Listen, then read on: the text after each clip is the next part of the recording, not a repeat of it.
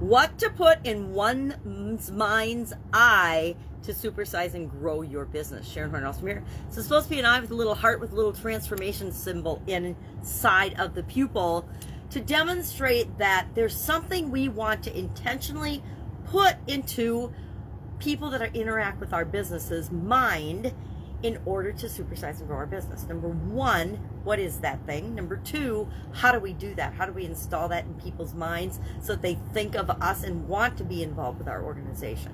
What the heck does in one's mind's eye even mean?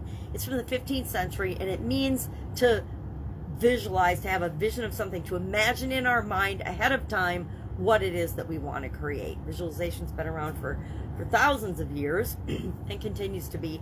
I realized my granddaughter actually was learning visualization and how to use and tap into their imagination in kindergarten last year. And I, I wish that we had figured that out and learned when we were in school. I don't think it was till my late 20s that I realized that visualization was even a thing. Maybe I was a late bloomer.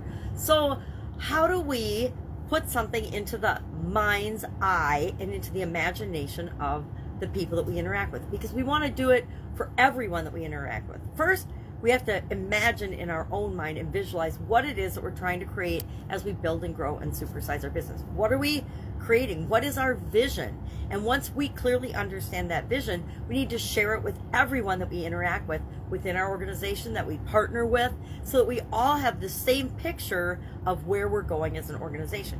We also want to install in people's minds how they will feel being a part of creating that if there are partners or employees, etc how are they going to feel? What what are they going to get? How are they going to benefit? We want to paint the picture for them of that. We want to do the same thing with our customers. Although we want to paint the picture for our customers of how they're going to feel after they've used our products or services, the transformation that it gives them, the problem that it solves for them. We want them to go on a journey with us and feel how it feels to have solved the problem that they have that that our our product or service solves for them.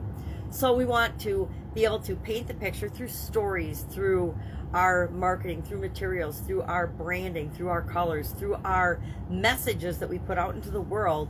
We want to paint and future pace that story, that picture, and plant that in the mind's eye through identity and through um, all kinds of different things that we can use in marketing and, and building our business. But we want to paint that future paced picture for everyone that's involved in our organization, including us. It starts with us, right?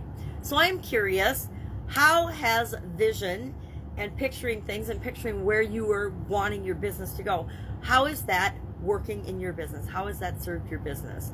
Um, how is it impacting the results that you're getting as you move toward that vision? And has the vision of the business that you're supersizing and growing changed since you first started your business? I would love to hear some stories about that.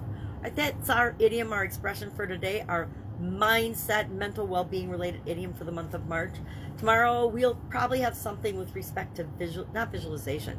Visualization is the topic for the challenge day. Tomorrow's imagination. So maybe something about imagination, which to me, imagination and visualization are very closely connected and all right, have an awesome day. Any questions, if I can help you in any way, hit me up. Otherwise, I'll be with you tomorrow with another interesting idiom. Where does it come from? What does it mean? And how might you use it to grow and supersize your business right now?